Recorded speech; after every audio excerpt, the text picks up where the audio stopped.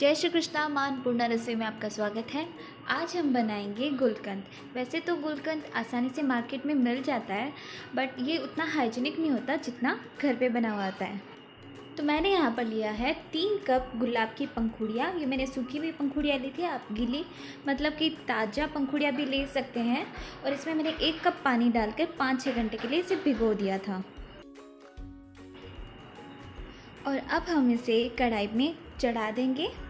और इसके अंदर हम डालेंगे मिश्री जो वो, धागे वाली मिश्री है।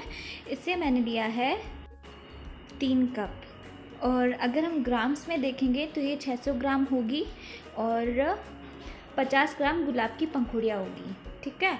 और इसके बाद हम गैस को ऑन कर देंगे। और अब हम इसे अच्छे से मिक्स करेंगे।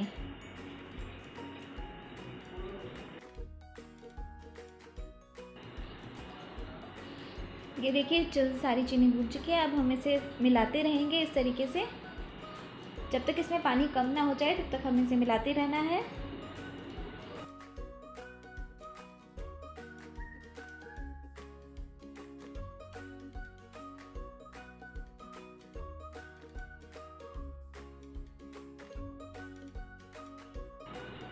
अब देखिए, हमारा पानी अपने आप कम हो चुका है। हमें इसे लगातार इसी तरीके से चलाते रहना है। इसमें से हमारा पानी अब सूख चुका है। अब हम गैस के फ्लेम को ऑफ़ कर देंगे। अब हम इसे ठंडा होने के लिए रख देंगे।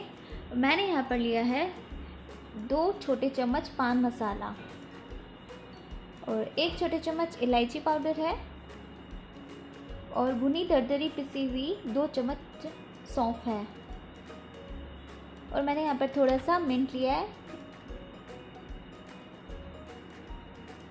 इसे हम ऐसे तोड़ लेंगे। एकदम बारीक कर लेंगे। इन सभी को हम इसके ठंडा होने के बाद ही इसमें डालेंगे।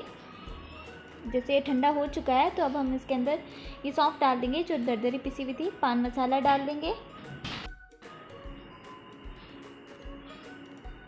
अब ये डाल देंगे इलायची पाउडर।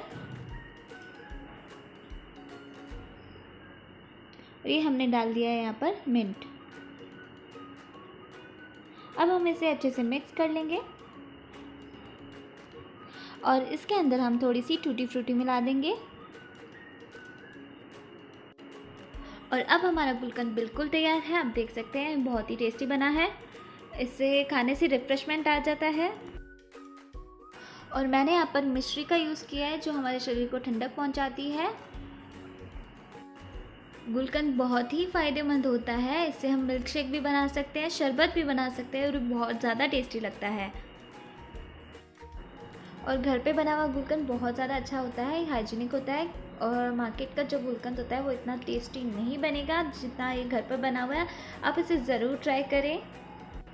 तो गुलकंद की रेसिपी आपको कैसी लगी कमेंट कर ज़रूर बताएँ। मेरे चैनल को लाइक, शेयर एंड सब्सक्राइब ज़रूर करें। Thank you.